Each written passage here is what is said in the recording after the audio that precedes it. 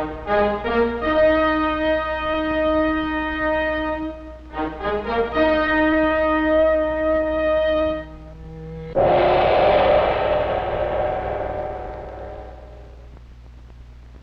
the Spot brings you Artist in Montreal. This is Bob Anderson of the National Film Board. Since the war, there's been a most striking and important renaissance in the arts in Montreal. And this is a side of cosmopolitan Montreal I don't remember seeing much about in film. How does an artist live? What's he look like? Where does he work? And what's he trying to say? We made the artist the subject of this film, and On the Spot now brings you The Artist in Montreal.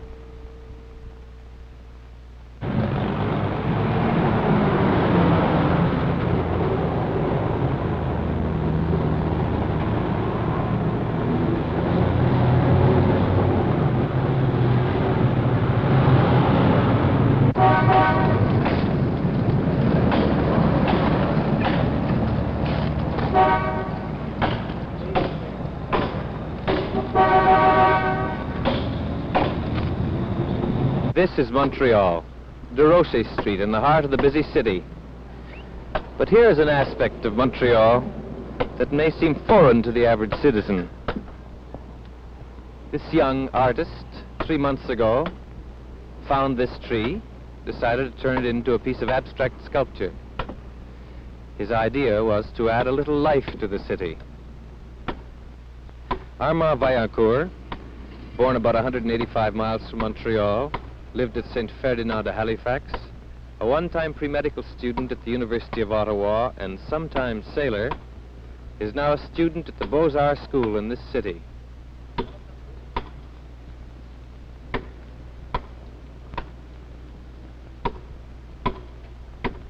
He was given permission to carve the tree by the owners of the property, the Jewish Community Center.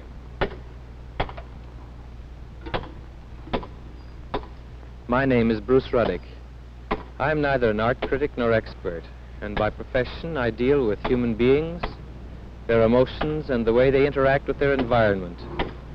I feel the artist shows his feelings a little more openly than the average person, and it might be a good idea for us to go see a few of the Montreal artists at work, at home, and enjoying themselves. This, the Place des Arts, at present a cooperative studio, was once used by the sculptor Soucy, who made many of the figures for the Parliament buildings in Ottawa. This figure, modeled in cement, is a study by Armand Vaillancourt, and the wood, knocked down by a recent hurricane and picked up about the city, is used for sculpture and often for fuel. This is the Place des Arts. An abandoned two-story building, it was converted eight months ago to a cooperative studio by a group of artists and students led by Robert Roussel. Work varies from sculpture, painting, and photography to silk screening and stage design. It is open all the time to anyone interested in working in these media. Classes are held here, and each month there is an exhibition by one of the group. One or two of the poorer artists sleep upstairs. Robert Roussel, born in Montreal's East End, joined the army at 18 and had a year and a half's overseas service. After his discharge at 21, he studied for three years at the Montreal Art Gallery, aided by the Department of Veterans Affairs. Since then, he has been a full-time sculptor. He is married and has three children. Here is Armand Vaillancourt again as he works in the studio. Roger Gasnier emigrated from Paris to Canada only five and a half months ago. He is a management consultant and has been a spare time worker in sculpture and painting for seven years. Here he is preparing his entry in a sculpture competition sponsored by the Franciscans.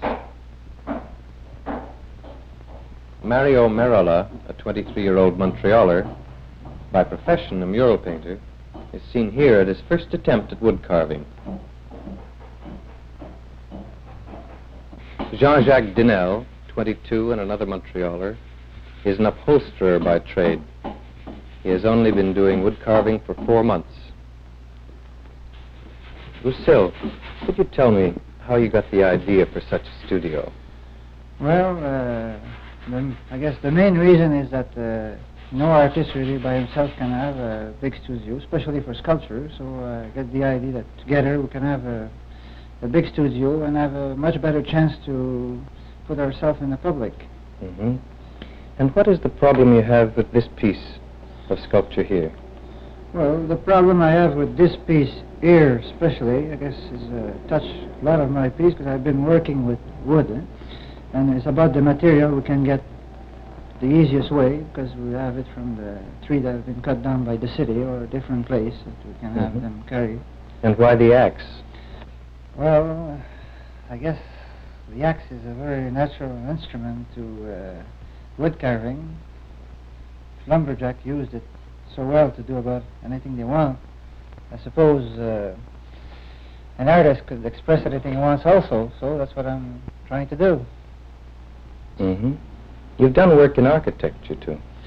Well, yes, I have done uh, a few months ago on uh, Nantel House in uh, Bellevue. In Bellevue. I think it would be a good idea for us to see that house. Thanks very Oh, much. Thank you very And much. thank you all very much. Bye-bye.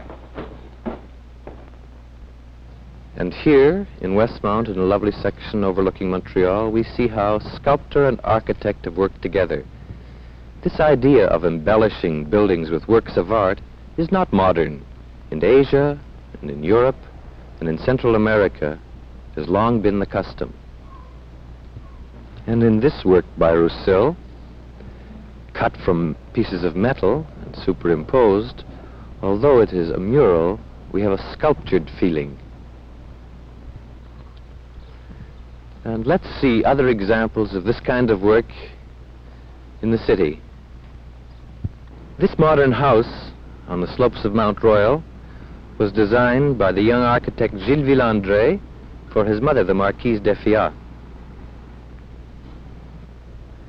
The chimney is a sculpture in a primitive style by another brother, Adrien Villandré, a well-known sculptor and ceramist. Let us leave this part of the city now and go to the home and studio of the young French-Canadian painter Jean-Paul Mousseau in the eastern end of Montreal. Manger, je savais qu'on tient pas maison, on mange pas là. Ben oui, mais le la dame a pris, il y avait des spaghettis, il y avait toutes sortes de choses dedans. Des fois, des salades. This is where the Mousseaus live, in a once abandoned warehouse. They choose to live here not merely because they are poor, but because it gives them an opportunity to use the imagination and to design to their own personal taste, which would be impossible in an ordinary rented flat. Here Mousseau lives with his wife and daughter. This was once a single large room which they partitioned into living, eating, sleeping, and working quarters. His wife Denise, seen here with her daughter Catherine, is studying for a stage career.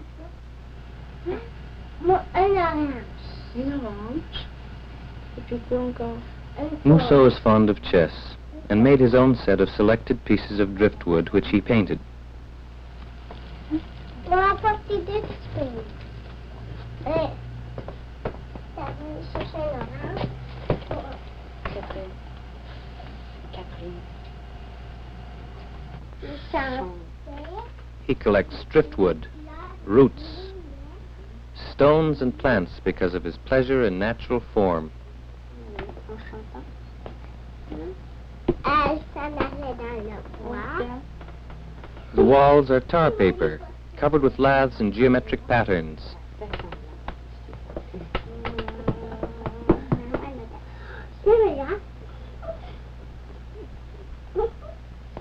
This victory of the imagination over the environment expresses his way of life.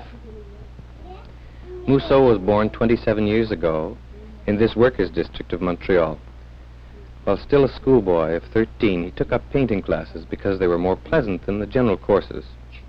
At 15, he joined the Contemporary Art Society and has been painting seriously ever since. He works 12 to 6, six days a week in a French bookstore and paints here nightly and often late into the morning. Mousseau, do you feel that your interest in stones and leaves and driftwood and natural forms helps your painting? Not directly. Indirectly, uh, the feeling that I get when I see those forms in space, you know, I enjoy, well, I enjoy it so much, you know, that it, it gives me a, a hit, you know, to paint, you know. A hit to paint? Yeah. yeah. How do you feel you're coming along with this one? Well, really, I cannot tell right now. Right now, it's very, very badly, not happy. And this one, have you finished this one? Yes. Are you satisfied with it? Well, quite pleased. I intend to present it uh, next show at L'Échouerie with two others, with this one and the other one. At L'Échouerie? Yes, uh, it will be in a few days. Uh, I just prepared now, you know.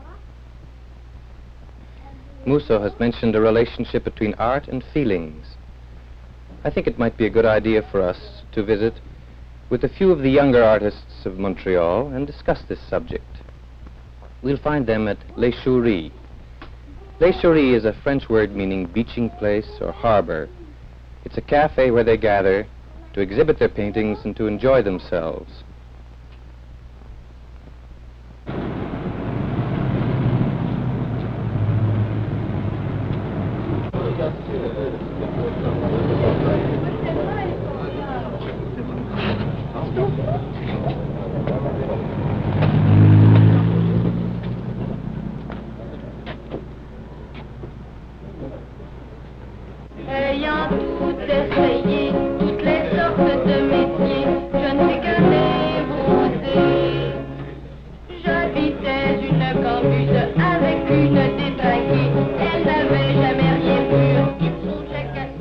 Upstairs, you're in the main part of the cafe. During the day, students of the Beaux-Arts and the nearby School of Ceramics drop in for a coffee or lunch. Young painters, sculptors, musicians, poets, writers, photographers, dancers, and everyday people drop in for coffee or meals. The food is European. No liquor is sold and there are strict rules of behavior. The singer and guitarist are practicing a song written by a young French Canadian. The waiters are artists and the photographs on the wall are by one of the staff.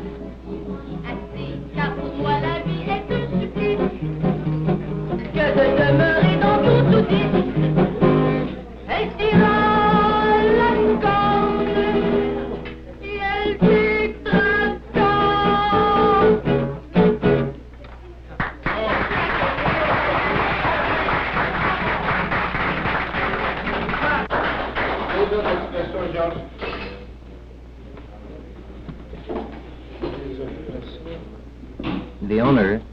and his wife came to Canada three years ago with $100. They were born in Hungary. He is a painter himself and is sympathetic and very paternal to the young artists. He says he's very busy, but most of his customers are young and poor, and many eat on credit. He makes four or five kinds of coffee with his espresso machine. As well as the artists, there is quite a cosmopolitan crowd. Les Chouries appeals especially to new Canadians as it reminds them a little of European cafes. This group came to Canada from Italy about three years ago.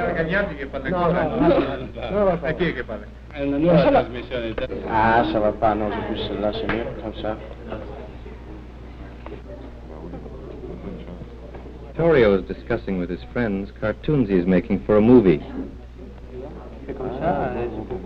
Euh, le fond, ça va être fait sur le papier et l'animation va être faite sur les scènes.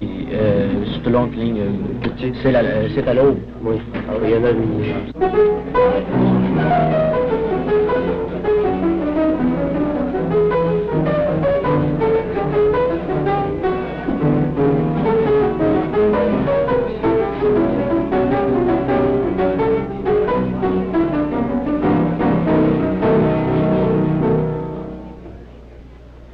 We are in the cellar of Les Chouries, a cafe gathering place for young artists and students predominantly. Every two weeks there is an exhibition here. And these are the preparations, the hanging of pictures for a group show. Practically all the artists here belong to a movement in painting called automatism.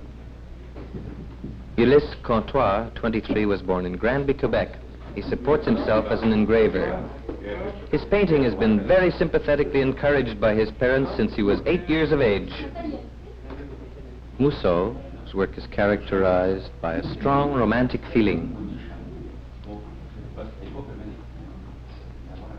Pierre Gauvreau had his first exhibition in 1942. He's 32 years of age is a freelance worker on radio and television. His particularly good mood today is due to the fact that a few hours ago his wife gave birth to their second child, a daughter. Robert Blair, 26, a native Montrealer, is at present a student of architecture in l'École des Beaux-Arts in Montreal. He has been painting for six years, and his work is characterized by a warm and brilliant use of color. Rita Letendre, 25, was born in Drummondville, Quebec. She works as a designer in a factory and has been painting for seven years. Her work is noted for its sensitiveness and delicacy. Fernand Leduc, 38 years of age, in Montreal, French-Canadian, married with one child, is a draftsman for the RCAF. And he's a pioneer in this type of painting called automatism, which is practiced by a few of the Montreal abstract painters. We know that uh, some of this art seems incomprehensible to you, you don't understand it, and so we're going to take this opportunity to get the artists themselves to answer a few questions about it. I wonder if anyone here would wish to try to say, how did you arrive at such a way of painting? Well, well if you choose me, uh, uh, tell you that it's uh, it's an experience like any other. You uh, begin in some cases by chance. Uh, myself, someone gave me a box of uh, watercolors, and I began that way with purely figurative painting. And uh, my own uh, personal evolution has led me to abstract painting. Uh, It is an evolution. Yes, it's Gradual. It's a definite ev- uh, gradual evolution. Yes. And anybody come to it suddenly? Yeah, well, I started to, to make doodles at first in school, but uh, I, I came to uh, directly to automatism after that. From doodling? Yeah. Well, uh, From doodling to doodling. I know that uh, it may seem difficult for some of you to understand. It's just as difficult for me to explain. I myself personally like many of these paintings. They speak to me, they communicate a feeling. And as I understand it, automatism means merely an approach, a beginning, by which the painter, on the canvas, with form, color, and shapes, attempts to express his own personal feeling. Would you say that's right? It seems to be right for me. Yes, but uh, the important uh, is that the automatism it uh, is not the end, but the beginning. The beginning of the painting. Yes, it is. So it isn't a specific style, it is a way of beginning a painting. It is a way of beginning, but uh, that can be uh, a, a great evolution, you know. And uh, it is uh, at that time that we have a philosophy of uh, automatism, but uh, this is very long to explain. It seems to allow a great deal of freedom of expression. Yes, it is. And uh, you can have uh, more or less automatism in a uh, picture, in a painting, uh, according to the, the, the way uh, of the painter. Now, let us just take, you're, you're painting a horse. If there are two different techniques, it's two different horses then. There's no question about Well, I'm speaking of content, of what people feel when they look at... Two painters. Two painters. But, uh, and it's, it's not a horse either. Yeah, no. well, uh, I mean, uh, and that's uh, where people make uh, most, uh, the most common mistake. Uh, taking what uh, what it looks like as being the what it is. What it We're is. always talking from the reality of the uh, of the, the picture, not from the outlook point of view of the uh, the exterior point of view of a horse. Like I mean, this is a, this is not the subject matter. I say Look, it- A rose is a rose is a rose. no, a rose, is. a rose, it never been a rose. It's a form before it being a rose. It's only by the uh, the form association which creates the emotional, the emotional feeling. That's that is what uh, is the reality in painting. What happens when you're painting? What do you feel? during the painting. Uh, a great, uh, I don't know how to explain it in English, je dirais vertige. Vertige? What would be the English equivalent of vertige? That would be uh, elation. And uh, I believe this elation can be transmitted from uh, the painting to the spectator. And this is art. So your art expresses feelings. Elation, as you said. Would you say that it stimulates elation predominantly? Well, uh, I, w- I would bring out, I mean, it uh, bring uh, the expression, I mean, I would bring out this idea of uh, el- elation. That's only one, uh, Only one feeling. factor. You could express uh, serenity. Perhaps someone else Or in a sadness. mathematic painting would, uh, yes, or sadness. Yes. So any kind of feeling. Yes. So I imagine then that the painter would feel the feeling when he painted not only vertige, which is Fernand Leduc's feeling, but any kind of feeling and the painting attempts to transmit that to an audience. Yes. And if it's successful, it will. But vertige is not only a feeling, it's the quality of a painting. It can be a sadness, it can be emotion, it can be free, it can be love, but the, the quality is a vertige. It is a, how do you call it in English? Elation. Elation. Uh, an inspiration. No. no. Well, what about a cup of coffee? Well, maybe. A good idea. Good idea. Good idea. Away we go. A bad idea.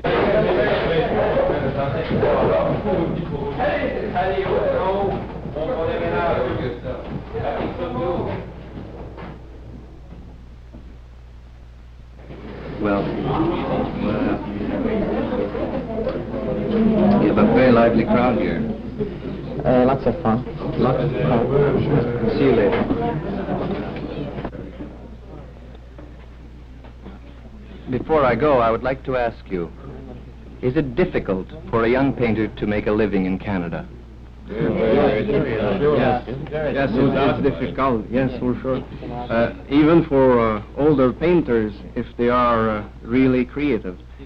I suppose it's easy to make a living for uh, commercial artists of uh, of any kind. I mean, uh, I think of two kinds of commercial artists: the the true, honest, real commercial artist who will accept himself as a commercial artist. He can make a living fairly easily. It's, it's a competitive field, but he can make a, a living. But there's another kind of uh, commercial artist, uh, less frank, I, I guess, the, the pseudo-creative artist, one who, pretends to be a, a creative artist, but in reality he does not express himself truly. He only tries to um, he only tries to uh, flatter, to please. Uh, the, the taste and the habits of a certain uh, section of the population. And uh, he sells uh, his work to the, this section. He's really, truly a commercial artist, although less frank. But for the truly creative artist, one who wants to express himself truly, to widen knowledge and uh, to bring something new, well, uh, it's, almost difficult. impossible. Well, I'd like to thank you all for a very, very pleasant evening. Well, thanks very much, George. Come back again, Bruce. I will come again. Bye-bye.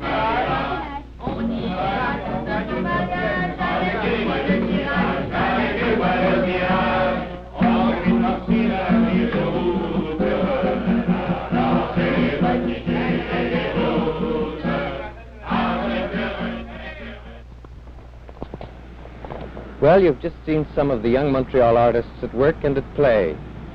Remember, from just such a group, someday, someone may spring of such creative power as to surprise the world, and of whom we as Canadians will be very proud. This is Bruce Ruddick from Montreal. Good night, all. You've been on the spot with the National Film Board crew in Montreal. We have a guest, Dr. Robert Hubbard, who is chief curator of the National Gallery of Canada. Well, what's your first reaction to the film? Well, I have a rather immediate reaction to something that Dr. Ruddick said just at the end of the film, Mm-hmm. and that is that uh, we may expect something to come out of this new movement in Montreal. Yes. Well, my contention is that something has already come out of it. In the way of painters. Yes, in the way Mhm. of two painters, to be exact. Paul-Émile Borduas and Jean-Paul Riopelle. Borduas started that movement, as a matter of Yes, fact. Borduas did. He began it around 1941 or 2, something And like. Riopelle was one of his students. Yes. And both these Canadian artists have achieved a very wide recognition, I believe. Yes, they're both represented in our National Gallery, of course. Mm-hmm. And uh, both are represented in the Museum of Modern Art in New York Yes. and Riopelle in the Museum of Modern Art in Paris. This is a painting by Paul-Émile Borduas, uh, which he calls Parachute vegeto, vegetable parachutes. But I suppose we shouldn't bother about taking that name too literally. Oh, I don't think we should. As a matter of fact, I think the uh, painting was painted first and the title added later. Which I believe is the case with most of this non-objective uh, art. Yes. According to the, excuse me, according to Yes. the, the theory as propounded by André Breton in France uh, some years ago, uh, painting actually comes from the subconscious. Now, while these may not look uh, too much to you like uh, vegetable parachutes, uh, I'd like you to know that the it's a very uh, the colors are really very beautiful here. The uh, these are very lovely greens, and uh, the one of the things I think that bothers most people about this business of non-objective art is that the painters are dealing with forms and possibly symbols that just aren't recognizable to people. They get Yes, I know, but there's, I think, an immediate response to be made to the beautiful color and the shapes, just as in music, you know. yes, where we don't demand so much uh, Yes, exactly. understanding. Uh, in that connection, uh, you may remember that we had a visit from the Queen Mother. Indeed, yes. Only a week or so ago. Well, after I'd explained who Borduas was and the automatic movement, of course she's quite knowledgeable about, knowledgeable about these things, um, she turned and said, uh, well, whatever he means, it's very rich and beautiful painting. Which, of course, is the way to look at these things. Yes, yes, I think so too. Here's a painting by Riopelle. I wish you could see the colors in it because they're very rich. The paint is laid on very heavily in great blobs overlaid. Yes, bright reds here and, and glossy blacks and blues and greens. Now, of course, if you look for something uh, representational here, you're not going to find it. But if I s- uh, work like this seems to be to call for the imagination to play a part in the assessment of it. Uh, Yes, and uh, that reminds me of something that happened yesterday. I was in one of the dealers' galleries in Montreal uh, and saw a painting by Riopelle, and not this one, but uh, another later one. And in front of it, there happened to be standing a small boy, and he was making remarks all over the place, and his mother was trying to shush him. But before she could do so, he had said, "Mummy, this looks like uh, jungle." And a little while later, he said, "No, it uh, it looks like something seen from the air. Yes. These these roads going through. Yes. So yes. there are all sorts of things that Yeah. stimulate the imagination. And it's very exciting to look at. Yes, rather And- like music. Yes. You think? Yes, I do. Um, it must help, I suppose, to uh, to know the painters uh, involved. Oh, I think it still does. This is claimed to be a sort of uh, universal, uh, or I should say spontaneous form of communication between artist and, and public, but it still helps enormously to know the painter. I remember hearing Borduas himself uh, sitting on a nail keg or something in his studio and talking to me about our environment in Canada, not only the physical, but also the sort of environment of thought and all that sort of thing, and how that's reflected in his painting, the, the sober, sort of somber colors. That, so you feel that he really has the insight that an artist has. oh, yes, uh, a poet's insight. Yes. Mm. Which is the kind of thing, I suppose, that uh, helps people to understand eventually once they can. Yes, yes, I think it does. Our guest has been Dr. Robert Hubbard, who is Chief Curator of the National Gallery of Canada. On the Spot is a production of the National Film Board. The film was directed by Jean Palardy. Photography was by Walter Sutton, and the sound by E.C.H. Muir and John Locke. The film editor was Gwen Barnhill, supervising editor was David Mayerovitch, and the producer, Robert Anderson.